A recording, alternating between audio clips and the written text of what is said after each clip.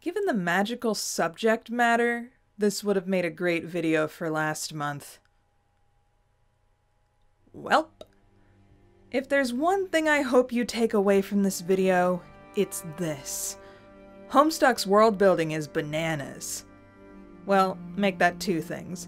Don't attempt alchemy, you'll probably poison yourself.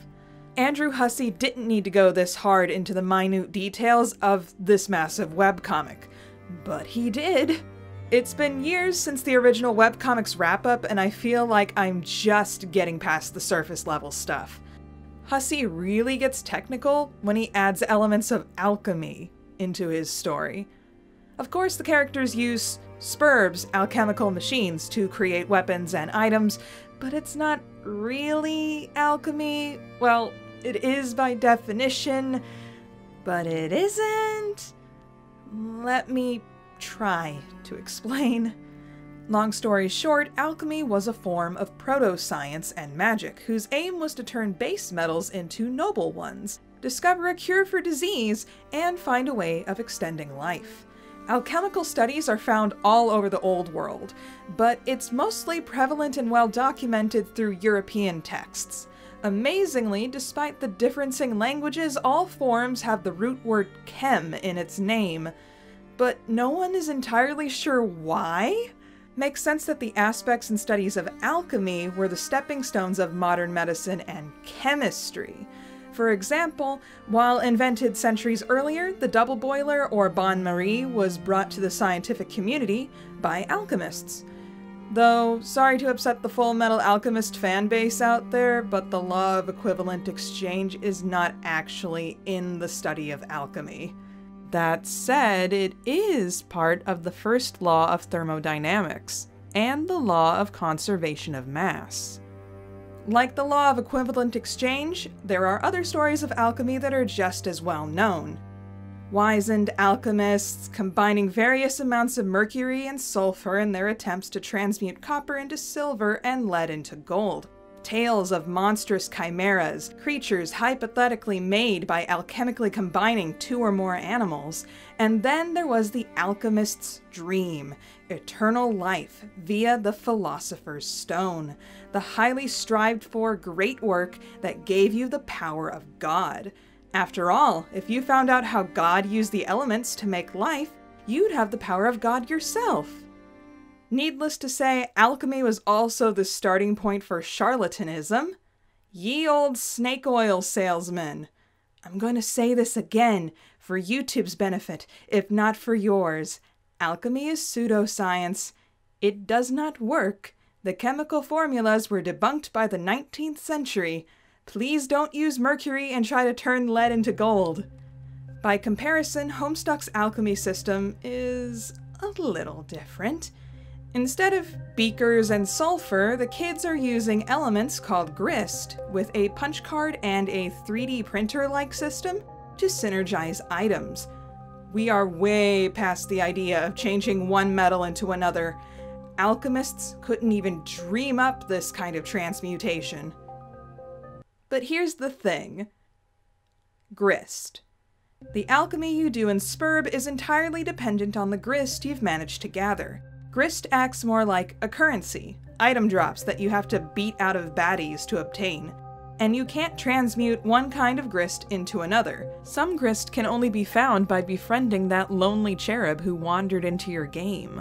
So, if you can't gather enough diamonds, I'm sorry, you can't make that sweet Snoop Dogg snow cone machete, my dude.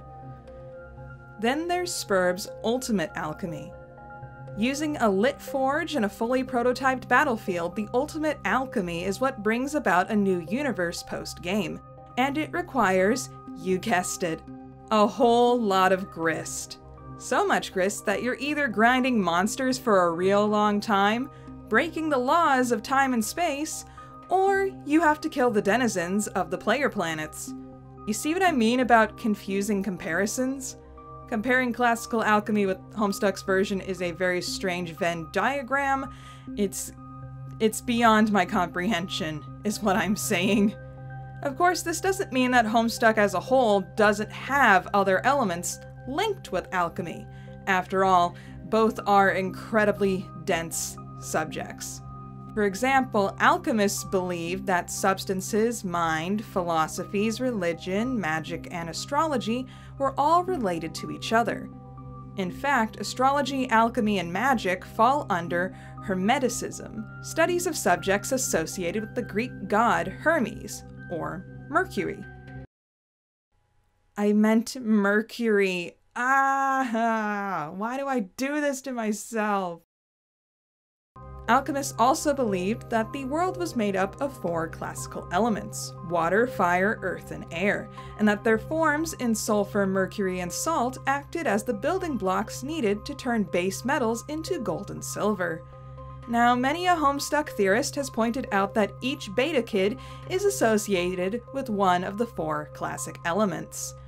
John is the heir of breath, with literal power over his element who was given the planet of LOWAS, the land of wind and shade. Rose lived on top of a waterfall, enters Sburb during a downpour, and her planet is the submerged Lolar, the land of light and rain. Dave lived in humid Houston, Texas, which proceeded to burn around him as he entered the game, and his planet is the lava-filled Lohac, the land of heat and clockwork. Jade is a little bit harder to pin on this concept, but considering her living on a very verdant island, a hunk of land in the middle of water, that she's associated early on with uranium, and that she shares her name, Jade, with the name of a mineral, she fits with the elements as well. The Beta Kids ultimately have to reset their world in order to play the game again, giving rise to Earth B and the Alpha Kids, where their progenitors enter the game as players. The Alpha Kids are referred to as nobles in their dead session. In fact, their planets are named after four noble gases neon, krypton, helium, and xenon. So the four classical elements combined forces to change something more base into something noble. Alchemy in action! Now, there are several creatures that have importance in the study of alchemy, like the phoenix and the white swan, but one big contender is the green lion, often depicted eating the sun. The green lion represented iron sulfate, or vitriol, a green chemical that was used in attempt to purify metals to pure gold. The lion devouring the sun also served as a metaphor, if you were said to have the spirit of the green lion, you tended to act destructively. So, saying someone is vitriolic is to say that they are mean, spiteful, or cruel. There's also one particular green lion that is said to be the root of the essence, or soul, of the metals.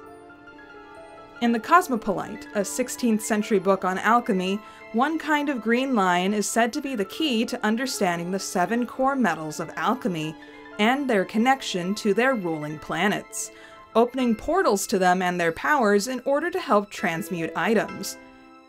Now, if you manage to use those powers to gain the power of God, well, you'd probably be able to merge the worlds together. Figuratively, of course. Hmm. Then there's this strange pair of lions that keeps popping up. There's the Ouroboros, the two contraries. But I think those fit better with another complicated Sburb mechanic that I'll need to cover in another video next year. And that's all I have to say on this subject right now. Thank you so much for watching. Remember to like, comment, and subscribe. I even have a Patreon. Though I really need to post more on there more often. Those poor people. For those who are new to the channel, hi, hello, welcome. I like to take December off to hang around my family and re-energize my introverted self for the next year.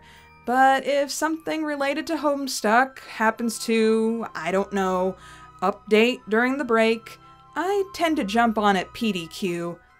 Anyway, Thanks again for watching, and I will see you all next time. Bye! Hey there.